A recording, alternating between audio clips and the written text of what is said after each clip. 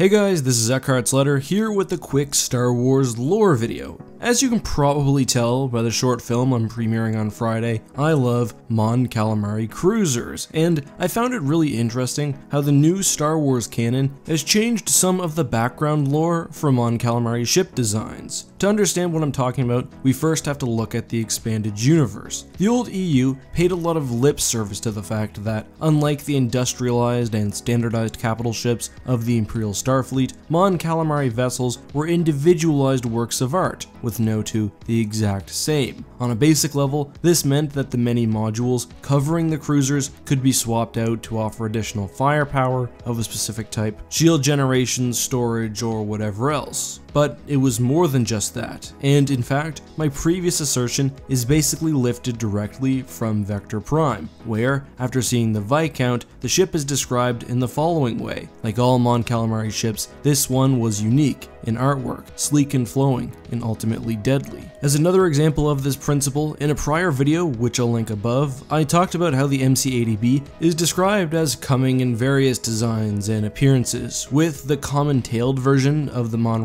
Remonda uh, not a defining feature for the class. Finally, the Essential Guide to Warfare says the same thing, basically that each elegant, streamlined ship was a work of art. Yet, although this was background information, the lore itself seemed to fight against this notion. For the rebel fleet that fought at the Battle of Endor, for example, example, all the Mon Calamari cruisers which appeared on screen were designated either as the Home 1 type, the Liberty type, or the MC-80A, and the differences were based purely on aesthetics and size. For example, the MC-80A is basically the Liberty, but without wings and a slightly different engine array, but it's counted as a completely different subtype. What's more, all of the individual MC-80As, or Liberties, or Home 1 types look the exact same. Now, obviously this is just a reality of filmmaking and the limited models available, but given the lore says Mon Calamari cruisers are supposed to be somewhat unique, you would expect perhaps all the ships just to be generally the same class. But not only is that not the case in the movie, that's also how it works in the expanded universe. All Home 1 cruisers look like the Home 1 or the Independence, even if not one of those two ships.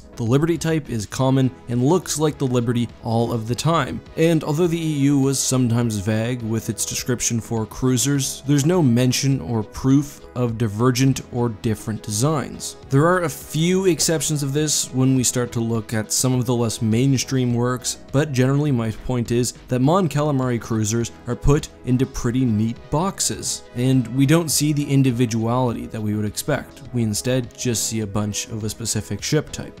Canon, however, at least as of now, has taken a much more fluid approach to Mon Calamari warships. I want to focus on the MC-80 line, as we know less about the 85 and the 75 classes. First of all, the MC-80 ship line has essentially been distilled to two subclasses, the MC-80 Home 1 types and all other ships. Notably, it's no longer called the Home 1 class either, now it's the MC-80A, which personally I think makes more sense for a few reasons. I like that the Home 1 is just one ship within this class, and I like now that the old MC-80A and the Liberty are essentially permutations of the same ship just of course with different physical properties, at least for now. We've also seen much more variation in cruiser shape, although admittedly not always. On the lazy end, we have, for example, Star Wars Battlefront 2, where all of the Rebel Mon Calamari cruisers just look like the Liberty. However, the Star Wars comic line has been far more interesting. The Mutiny at Mon Cala and Hope Dies arc show us more cruisers with different or extra wings, strange body shapes, and basically lots of extra differences. The eventual Rebel fleet produced is more uniform than the merchant fleet we see earlier, with most ships looking similar at least to the Liberty or Home 1 type from Legends, but still, even among those classes we see more variation, which I think is nice. It really, I think, actually abides by the lore that Mon Calamari starships are supposed to be different, each one is a work of art. Each one is unique and deadly in its own way. In fact, I think it would be really cool if we get some sort of Empire War remake or other Star Wars space battle game for each Mon Calamari cruiser to have an element of randomness, whether it's wing position, whether there's extra struts, the exact size of the vessel, etc. I suspect we'd see a degree of variation as well with the MC-85, although given that it was a purpose-built warship, perhaps it's more standardized, and the MC-75, although we haven't learned a whole lot about the class, also seems to have subtypes but the same general structure. However, some of that also comes from the Star Wars tabletop game, which may not fully represent canon. Anyway guys, that's all for today. Let me know, am I overstating the difference, or do you think canon has taken a different approach